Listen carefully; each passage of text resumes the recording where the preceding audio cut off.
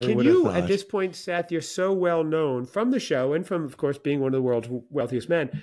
And your Uh, can you even just go to the store? Can you go like walk down Michigan Avenue in Chicago and not be just like hounded by everybody? What is life like? Uh, the, there's a certain bit of an alias I take on, and I'll yeah, Oh. I mean, don a hat or something, or a full face covering. Donna Hat is your alias. First name Donna, Donna. last name Hat. Donna, yes. I go Okay. way out. Um, you check into hotels yeah. under the name Donna Hat. Gotcha. So yes. now people know. among others. Now the Swiss Hotel it. in Chicago. Yeah. Mhm. okay. Well, just so we know, because we have the weekend preview, we have the movies Yes. going on.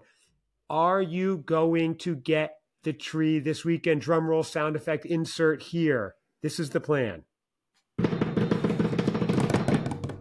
There it says, uh, again, weather permitting,